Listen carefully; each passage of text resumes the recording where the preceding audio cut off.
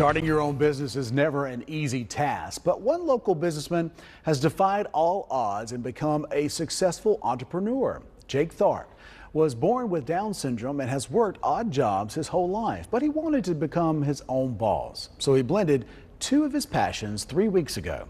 He opened up his own business called Jake's Coffee and Candles, and the business has quickly become a hit among locals.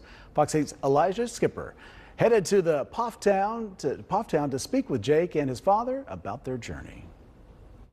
Morning, how are you? Good, how are you, Good guy? Jake's Coffee and Candles might not look fancy on the outside. The building was available. A lot of things fell into place. But what's going on inside has everyone in Pfafftown buzzing. I'd like to get a large Americano, please. Oh, it's great. I love it. I, I come up here at least twice a week. When Jake Tharp came to his dad with a business idea that blends his two favorite things, coffee and candles, he knew it would work. We just thought it was a natural, and he put it together, Jake's Coffee and Candles, and so far, so good. It feels good because watching people come in, order a coffee or anything like that, it's just, it makes me feel good because I know I'm doing something. 42 year old Jake had worked different jobs all his life.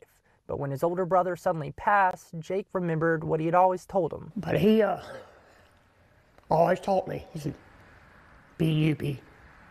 Be you. Don't be anybody else but Jacob.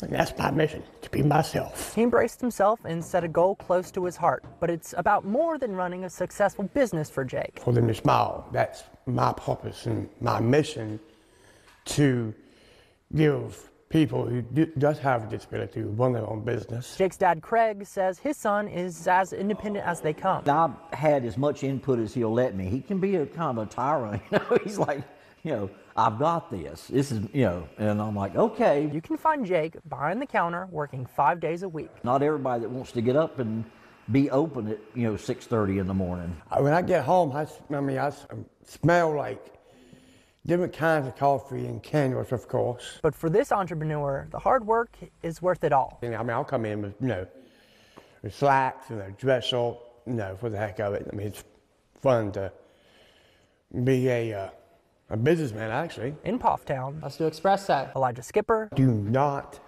drink that in one gulp. Fox 8 News. Jake and his dad say that the support that they've received from their community has been so overwhelming that they decided to open up on Saturdays in the near future.